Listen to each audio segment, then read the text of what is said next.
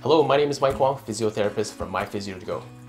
In this video, I'm going to go through what the Achilles tendon is, some of the risk factors that can put you at a higher risk of injury, and finally highlight some of the strategies and exercises that you can incorporate to help prevent this. The Achilles tendon is a very strong band of fibrous tissue that connects the calf muscle to the heel bone, also known as the calcaneus. The calf muscle originates in the back of the knee and consists of the more superficial gastrocnemius muscle, which you can visibly see when somebody's pushing off the foot during walking, and then the soleus muscle, which is deeper and lies underneath the gastrocnemius. Activities that require explosive push off of the foot in sports like basketball, volleyball, badminton, and other racket sports can increase the risk of an Achilles rupture.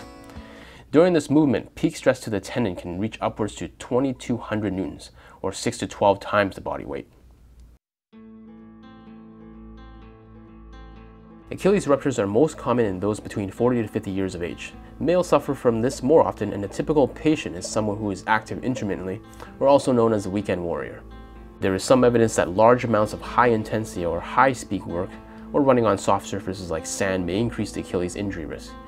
Now that's not to say that hard physical work is bad for you, but you need to be careful and take rest days seriously to allow for proper recovery. A systematic review in 2017 shows that an increased BMI, or a body mass index, is an important biomarker of Achilles tendinopathy. And higher BMI would indicate that individuals who are overweight or obese will be more prone to an Achilles injury due to an increase in load on the tendon during activity.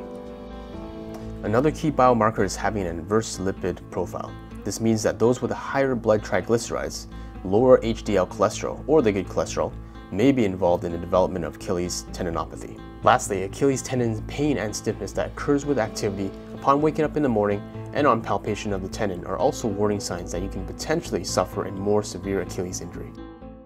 Whether you're a weekend warrior chasing your kids in the backyard or an elite level athlete, there are some Achilles injury prevention techniques that you can apply in your daily life to decrease your chances of a major injury to your Achilles tendon.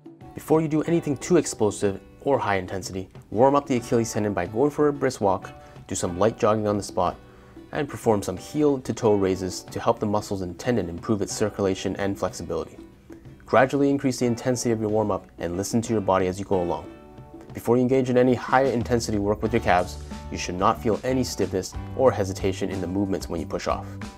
If your workout only consists of high impact, high load, and explosive movements, you may want to diversify.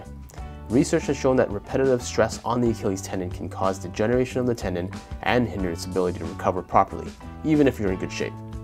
Cross-training into other activities like biking, swimming, and yoga are some examples where you can still get a great workout in, but giving your Achilles a break. One of the less common strategies that's being used is releasing the trigger points or knots on the calf. If your calf muscles have multiple trigger points, it can overall alter the ability of the muscle to contract and potentially put more strain on the Achilles tendon. One can release trigger points by finding an area of tenderness on the calf and apply and hold pressure between 30 seconds to a minute. If you have access to treatment using acupuncture and dry needling, it can be very effective and quick to release these knots.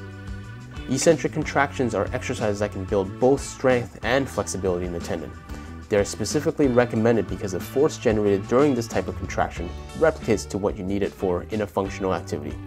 A simple exercise here involves slow heel drops on a staircase this can create an eccentric contraction of the calf and Achilles.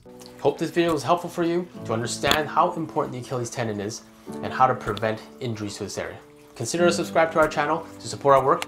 Leave us any comments below if you have any questions and we'll get back to you as soon as we can. See you in the next one.